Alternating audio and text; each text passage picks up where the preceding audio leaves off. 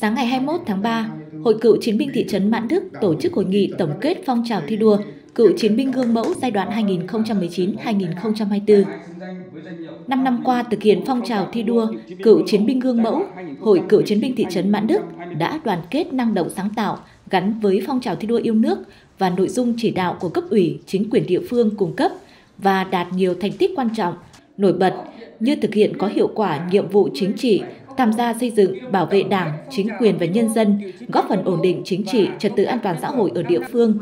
động viên cán bộ hội viên nêu cao tinh thần tự lực, tự cường, đẩy mạnh phong trào cựu chiến binh giúp nhau giảm nghèo, làm kinh tế giỏi. Nhiều gia đình hội viên đã phát huy lợi thế trung tâm huyền lị, phát triển đa dạng các loại hình kinh tế và đẩy mạnh ứng dụng khoa học kỹ thuật và sản xuất kinh doanh cho thu nhập cao. Đến nay, toàn hội có 92 mô hình hội viên cựu chiến binh làm kinh tế giỏi, trong đó có 6 doanh nghiệp nhỏ và vừa, một hợp tác xã, một tổ hợp tác do hội viên cựu chiến binh làm chủ, 53 trang trại, gia trại.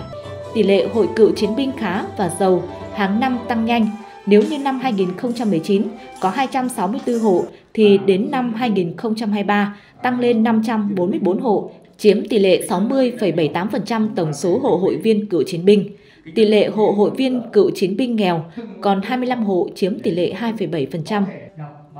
Bên cạnh đó, Hội cựu chiến binh thị trấn tích cực tham gia các cuộc vận động, các phong trào thi đua yêu nước tại địa phương, tiêu biểu như vận động hội viên xây dựng mô hình đoạn đường cựu chiến binh tự quản, nở hoa điện sáng và điện sáng an ninh, an toàn giao thông, mô hình nhà sạch vườn đẹp, môi trường trong lành.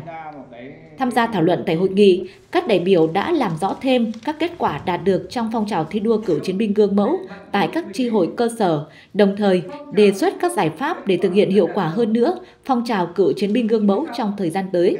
Phấn đấu hàng năm có trên 95% tập thể hội đạt trong sạch vững mạnh, trên 95% hội viên đạt cựu chiến binh gương mẫu, trên 97% gia đình hội viên đạt gia đình văn hóa, mỗi năm giảm từ 1 đến 2 hộ hội viên nghèo, cận nghèo theo tiêu chí mới,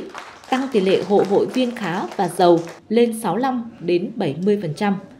Nhân dịp này, nhiều tập thể và cá nhân đạt thành tích xuất sắc trong phong trào thi đua cựu chiến binh gương mẫu giai đoạn 2019-2024 được các cấp khen thưởng.